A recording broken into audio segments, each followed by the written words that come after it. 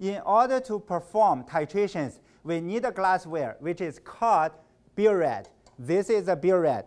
Uh, it has a well which has two positions. One is this cross, so this means it's closed. Or I can turn this in this position, which align with the burette. This is an open position. Okay, when we put sodium hydroxide inside, we have to make sure you have this well in the closed position. Before we fill this burette with the sodium hydroxide solution, we want to rinse this burette with sodium hydroxide solution three times.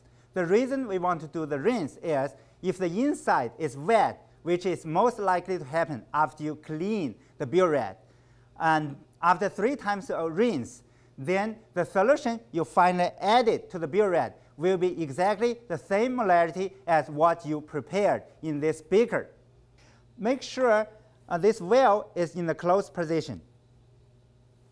Every time when you rinse, you use 5 to 10 milliliters of sodium hydroxide solution.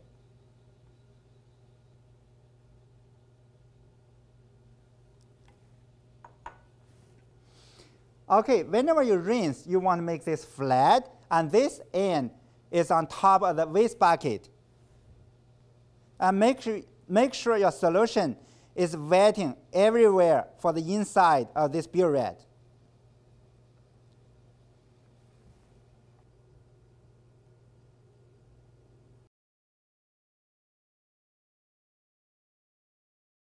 After this burette is rinsed with sodium hydroxide solution three times, now we can fill this burette with the sodium hydroxide solution.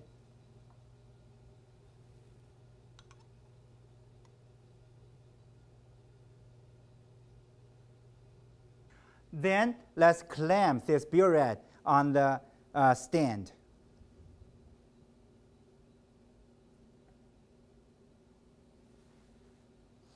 When you do experiment, you want to make yourself comfortable. You do not want to do experiment to do titration like this. So let's try to move them around so uh, I will feel most comfortable. And also, I want to stay away from the other part, if something happened, I don't want knock them down. At this position, I feel most comfortable. And then we have to make sure there's no bubble in this part. Let's say if you can see the bubble. Let the bubble run, come out. After you get rid of the bubble, what you want to do is make sure the meniscus is aligned with the zero milliliter on top.